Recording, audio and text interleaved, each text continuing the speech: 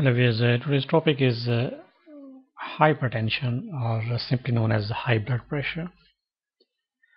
Uh, high blood pressure is uh, defined as uh, high pressure in the arteries uh, which are the vessels that carry blood from the heart to the rest of the body. And blood pressure readings are given as two numbers, the systolic blood pressure which is also known as the top number uh, equals the pressure in the arteries uh, as the heart contracts and the diastolic pressure which is the bottom number and is the pressure in the arteries as the heart relaxes. Uh, the normal blood pressure is uh, below 120 by 80. So 120 by 80 means uh, uh, systolic 120 and diastolic 80. So blood pressure between uh, 120 by 80 and 139 by 80 is called pre-hypertension. So which means that uh, uh, it's uh, not high blood pressure, but there are chances that the, uh, uh, he or she can have the hypertension in coming years.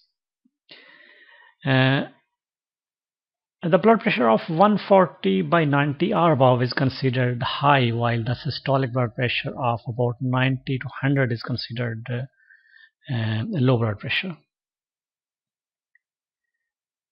Uh, complications of high blood pressure include like uh, uh, heart disease, uh, kidney disease, hardening of the arteries, known as arteriosclerosis, or um, I mean uh, eye damage or the stroke that's a brain damage you know. So these are the complications of the high blood pressure if it's left untreated. So hypertension is a major public health problem.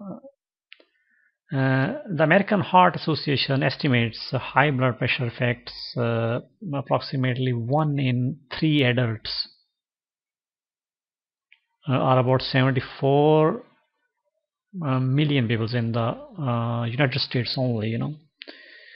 Uh, so, and the statistics about the third world and other developing countries is much higher, you know, because most of the time it's not diagnosed at the time and not treated properly.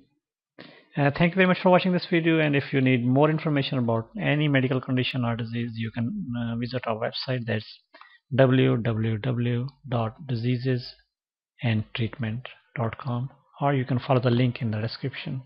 Thank you very much. Goodbye